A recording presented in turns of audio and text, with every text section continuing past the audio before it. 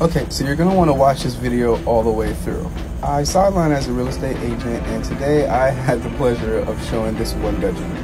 So first we step in, let's get straight to it. The living room's right there in the front. Uh, do have a washer and dryer, so it's pretty dope that it has that.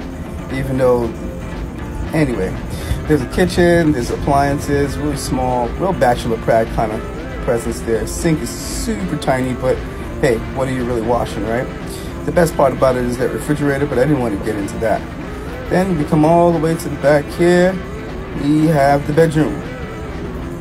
Back up, and we'll close that and go straight into the bathroom one time. It's a really nice bathroom, which is like probably the best part of this entire apartment. The real amazing part about this apartment, it's $3,000 a month in New York City.